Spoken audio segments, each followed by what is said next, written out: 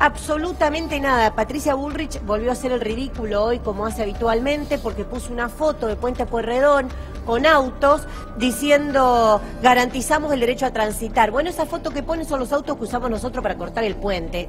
Y es de tal nivel de ridiculez lo que hace para mostrar que la gente quería ir a trabajar y lo hacía.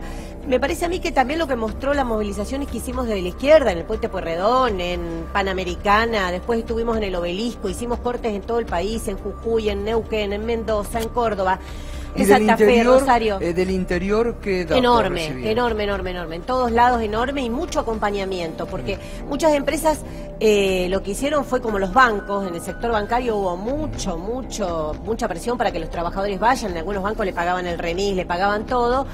Pero creo que lo que se demostró es que con presión o sin presión había una voluntad enorme a la lucha y a parar y eso se expresó porque todos los que pudieron y que son allegados a la izquierda y que tienen contacto con nosotros no llamaban para venir para venir y para movilizarse, por eso vas a ver tantas banderas de, trabajadores. Lamentablemente fue un paro sin movilización.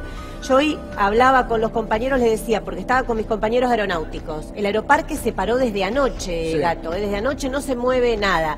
¿Qué hubiese sido si desde los lugares de trabajo hubiesen salido movilizaciones para, para Plaza de Mayo? ¿Estaríamos hablando de este mismo gobierno? ¿Podría estar Triaca y los demás discutiendo la contundencia del paro?